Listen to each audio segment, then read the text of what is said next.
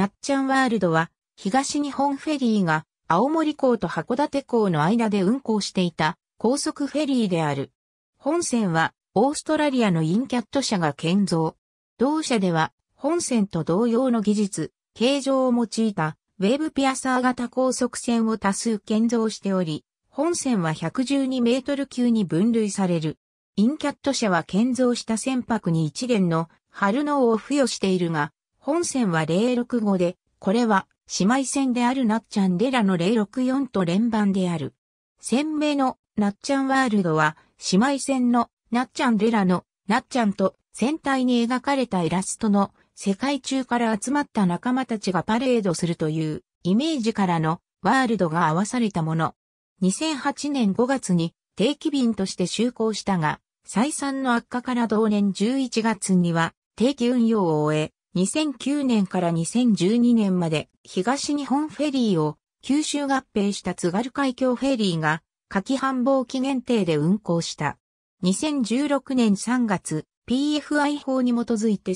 特徴的な技術が用いられている元船の仕組みについては姉妹船であるナッチャンレラ船体と装置類もしくは船舶工学ウェーブピアーサーもしくは総動線を参照船内設備ティアー4ティアー3ティアー1.2防衛省への借り上げ後は長距離移動を考慮し一隻を撤去し、フラット構造で折りたたみ式のマットレスが用意され、ビジネスクラス席は乗員用の二段ベッドへと改装された。ナッチャンワールドと横浜ベイブリッジ。選手にインキャット車ロゴと本線の春能の065が確認できる。2009年3月7日、横浜港第三橋不等に原則接岸したナッチャンワールドナッチャンワールドはナッチャンレラに続く総動式の高速フェリーとしてオーストラリアのインキャット社ホバート造船所で建造された。同社の112メートル級ウェーブピアーサー2番線で船体番号は065。青森港函館港間をおよそ夏季1時間45分、冬季2時間15分、深夜便2時間30分で結んだ。船体には2007年11月にパレードをテーマとして児童より公募したイラスト538点の中から選ばれた恐竜や海の生物など18作品が描かれている。2008年2月19日に浸水し、4月3日に公見、同月8日に完成記念式典が行われた。その後、同月10日にオーストラリアを出港、ブリスベンを経由して17日の午前7時に函館に到着した。就航に先立つ4月30日には函館港に停泊中の船内でテロ対処訓練が行われたが、この訓練は同年7月7日から9日にかけて開催される北海道東野湖サミットに備えたもので、北海道警察と東日本フェリーが合同で実施した。就航式は同年5月2日に青森市の青森高速線ターミナルで行われ、同時に函館港開港150周年記念イベント、津軽海峡、海と大空のフェスティバルが開催された。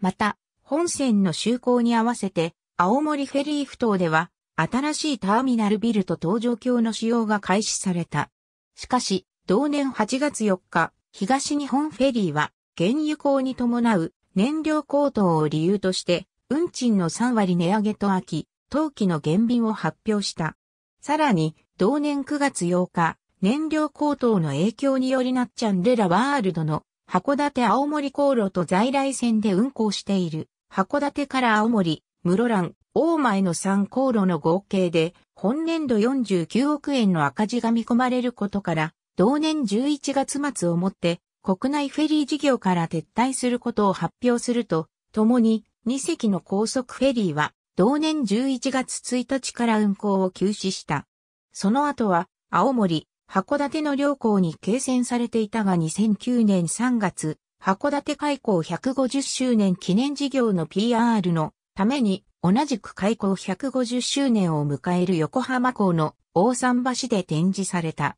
翌2010年の2月17日に再び大桟橋に入港し、停泊中の船内で青森物産展が開催されたほか、2月21日には栗浜港発着の特別クルーズも実施された。また、東日本フェリーから青函航路を承継した道南自動車フェリーが国土交通省への期間限定での運行申請が2009年5月20日に認可され、同年7月18日から9月30日までの期間限定で青森港函館港の間を運行した。以降2010年は7月17日から10月31日まで、2011年は7月29日から8月18日、2012年は8月1日から8月19日の期間限定で運行した。2013年以降については運行されていない。東北地方太平洋沖地震の発生に際し、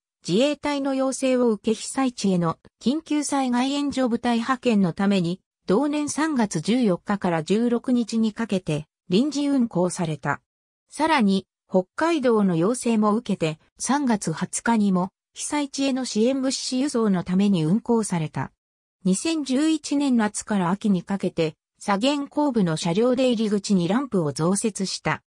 11月10日から行われる陸上自衛隊の非出生台演習場での訓練のため、北海道の苫小牧港から大分県の大分港まで90式戦車4両と89式装甲戦闘車10両等を輸送した。この航海は訓練期間中待機だったため、合間に別の陸上自衛隊の部隊を九州各地から九州の島嶼部に輸送し、この航海で大分県大分市大分港及び別府市別府港、鹿児島県奄美市名瀬港及び志布市志布市港、長崎県津島市伊豆原港への寄港実績を作った。自衛隊の装備縮減のため、防衛省が PFI により建造した高速フェリーを民間と兼用する構想が2013年7月に報道されるなど、同一の船舶を民間と共用で利用する構想がたびたび報じられているが、ナッチャンワールドについては2011年2月、同省が姉妹船のナッチャンデラと共に離島奪還作戦に不可欠な高速輸送艦艇として利用することを検討している旨を報じられたことがある。2012年夏以降運行していなかったナッチャンワールドを防衛省は大災害などに備えるとの名目で2014年度約3億5千万円で借り上げた。2016年3月、総日、津軽海峡フェリー、新日本海フェリータ発社が設立した高速マリントランスポート株式会社が元船を保有することとなり、同社と防衛省の間で使用契約が結ばれた。平時は高速マリントランスポートが元船を運航し、民間収益事業のほか自衛隊の訓練や災害派遣に使用。有事には防衛省が高速マリントランスポートから提供を受け、自衛隊員や武器の輸送に用いる。防衛省での活動時期以外についてはリベラが地域振興の観点からクルーズ企画やレンタルホールとしての活用を検討し、2018年から準備が整ったとして観光船として2月11.12日の函館港での花火大会を組み合わせたディナークルーズを皮切りに一般向け運行を再開。8月7日8日には青森ねぶた祭りツアーにて6年ぶりに津軽海峡での運行を行った。姉妹船のナッチャンレラとの外観上の相違点としては、ナッチャンレラは全部の車両搭載デッキ店面が突き抜けとなっているが、なっちゃんワールドは、と抜けがなく、太陽のイラストが描かれていた。また、客室設備の相違点は、エグゼクティブクラスの座席がシートタイプではなく、ブース形式になっているほか、ラウンジにはカウンターがなく、マッサージチェアが装備されている。乗客定員も、なっちゃんレラが774名であるのに対して、なっちゃんワールドでは800名と増加している。当初、なっちゃんワールドは、なっちゃんレラと同じく船尾ランプウェイのみを装備していた。しかし、船尾ランプウェイが船体の喫水面から高い位置にあるため、二役接岸時は、同型船専用に整備された港湾設備に船尾接岸する必要があった。後に、東北地方太平洋沖地震以降に利用が多くなった自衛隊輸送を鑑み、一般の整備されていないが岸壁でも車両の積み下ろしができるように、原則接岸時に使用できるランプウェイを後部ランプウェイの左舷側に増設する工事を2011年10月に行った。このランプウェイは、なっちゃんレラと大きく異なる外観的特徴となっている。ありがとうございます。